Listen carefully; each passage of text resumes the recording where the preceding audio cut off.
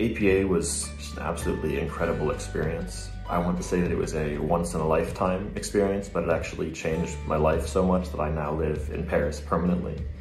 Um, APA helped me so much as a person. It helped me become more outgoing. It helped me become more open. It helped me become more aware of my passions. Uh, it helped me speak the level of French that I have now. And of course, through APA, I met so many great people.